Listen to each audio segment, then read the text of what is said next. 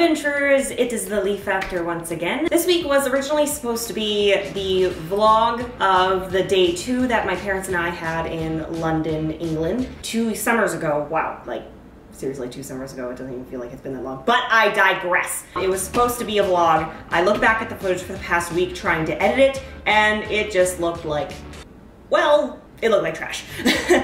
it wasn't good at all. I tried I tried making it and interesting to watch. So this week we are going to be taking a slightly different approach uh, to that. These, okay, that's way too bright. Anyway, technically it was our first day in London because when we first got there, it was like, God, I think it was like a 17 hour flight, something like that to actually like get there. And I did vlog that first day, but again, came across the same situation.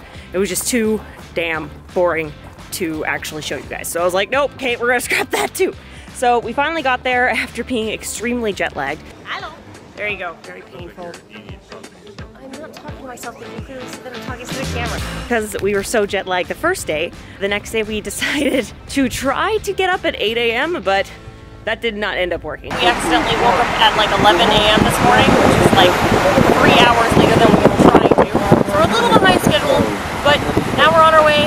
It's gonna be good. So anyways, I was saying, one of the first things that we decided to do was hop on, hop off bus tour. Now, for those of you who have traveled to like very, let's just say, average touristy areas like obviously like London or like New York, you know, places that like a lot of people are like, I want to go to this place because it's been glorified to go there. Not to put down those places or anything, but you, you know what I mean? Like a lot of people have gone there because it's touristy. Anyway, I'm getting off track. So uh, we decided to do one of those bus tours, and I wrote out a list of pros and cons because of that. To the pros and cons of hop on and hop off tour buses. That feels like a tongue twister. Ah! Okay. Oh, oh that's cold. Okay. That didn't work as planned. Okay, pro number one, you get to quickly see the city. It's way easier than being able to like just go in a taxi and just like look around. Being able to be on a double decker bus and just like see everything, kind of just get a feel to what you're getting into. Pro number two, it's the most, in my opinion, the relaxing way to see a city. You just get to sit on the top of a double decker bus, just kind of chill, feel the wind in your hair, even though the wind is so intense that there's no way you're going to be able to talk and vlog at the same time without a mic, which I definitely do not have. But that's more of a YouTuber problem than just an average traveler problem. Now, the last pro I could think of for these tours that you can get off whenever you want, which honestly is like super nice, especially when you know a stop is coming up and you're like, oh, you know, I just want to get off there. Hurry, truck! That! That's why you don't go when it's red. And then when you want to get back on, it's usually only like from my recollection anyway, like 10 to 15 minute wait time, which is really not that bad. Now, I like to think I'm not a pessimist, but you know, you always have to have a cons list to a pros list when you're giving people the truth. The thing I didn't really like about these tours, just very touristy spots. You don't get to see like real, it doesn't feel like you're seeing like London, London, like how Londoners experience, you know, because you're just, you're just seeing the touristy spots which is only a con for people like me who are trying to be less touristy, but they're pros for people who just want to see those types of things. For a person who likes to take travel photos in general, hop on and hop off tour buses are really hard to get good photos. Like, for example, here's are some of the best ones that I was able to get. Not great, right? Sorry, this is getting six bright. Sunglasses are gonna go on. I'm gonna turn like Casey Neistat for a second. Because you're moving around so much and half the time you're in front of like a glass, you're just not gonna get a good photo. So going back to one of the pros, this is just a good way to see the city, not taking pictures of the city. You're gonna have to wait to get off the bus for that.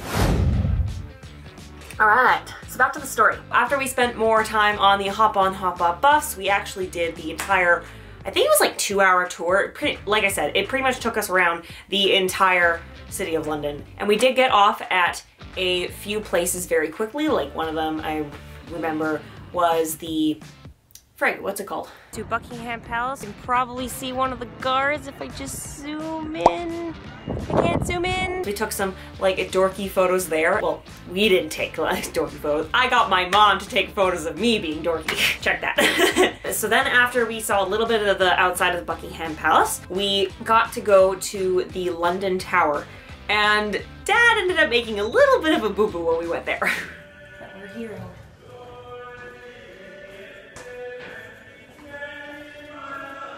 What did you do? Retreat, retreat! Oh my god, my ears. Oh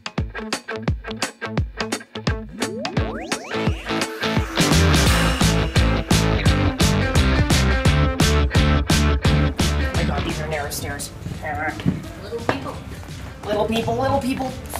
I can't even do it without holding onto the railing. Then, when we were walking through the one, well, one of the parts where you can like cross to a different part of the tower, we saw the weirdest thing that scared the crap out of me. these these two ravens, I thought they were fake, but they're definitely not. They house them here and feed them. Caution. Ravens may bite. I would say so. Yeah, those ravens are honestly like pretty damn scary. Like literally look like straight out of a horror movie. I think I actually said that. Straight out of a horror movie, I tell you. Fun fact about those ravens, they're actually called the Guardians of the Tower. They actually like those two ravens that are there, they stay there and they feed them like this weird meat. We also got to see the crown jewels in the London Tower. And we weren't allowed to take video footage of in there, so sorry. so getting to walk through the London Tower, you get to just see different areas where those guys in the tall hats are like guarding the places, which we got to see those too, and that was quite interesting as well. Okay, I didn't get it on camera because, you know, obviously you probably won't be able to, so I just want to tell you guys. We were up there, you probably just see him way down there with all those tourists. One of those guards that uh, the queen has in front of there that you like they can't talk. I don't remember their official name, but he, he has to be there, and a bunch of people are just like taking photos of in front of him and just you know being typical tourists. And so I took just a picture of him, and then I just kind of whispered over. I was like, "Thanks for putting up with us." And he did like the like a slight wink at me and acknowledged it. I was like, "Yes!" I got into acknowledge me, so that was pretty cool. So that's why I just want to tell you guys that. Like I said, it's very touristy type of place to go, but if you're in the mood to just like learn some history and not really like have anything extremely exciting, like, I don't know, going down a huge water slide things like that. um, it was nice. It was nice and relaxing. Yeah, I definitely suggest going to the London Tower. God, this is what happens when you wait two years to talk about a trip. You just forget a lot of the details. So yeah, that was pretty much our second day in London. I kind of regret not being able to get like better footage when I was there. I mean, like back then, I didn't want to try using my iPhone again. because it kept filling up and then I wasn't able to get all the footage onto my computer fast enough, so I ended up trying to use like this really cheap digital camera that I had left in the house because I didn't have the money for this camera yet. And it just I, I did my best. But i'm going to try my best to make do with the footage that i have and make it as entertaining as possible. And i hope you did enjoy this video. Yeah check out my travel instagram if you'd like to see more. That's all for today's vlog. Thank you for watching Lea Factor adventures. And remember think for yourself use your head and learn something new. And i will see you in the next video. That didn't work at all Okay, we're going to start over again. Take three. Oh my god, I'm freaking out right now. What happens if I look at that? Okay, yeah, I can't look at the, I can't look at that screen. I have to look at you. Okay.